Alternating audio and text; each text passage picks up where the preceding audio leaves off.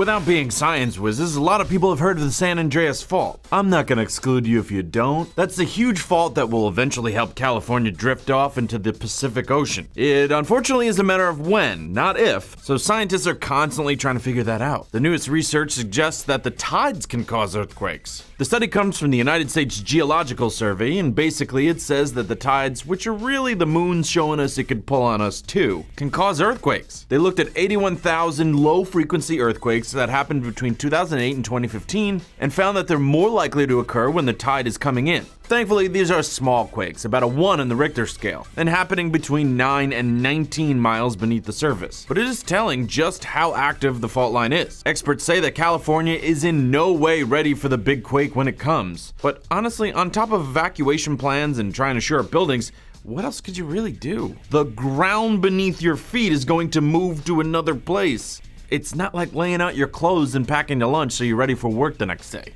I'm Patrick Jones for Buzz 60. Now you know, pass it on.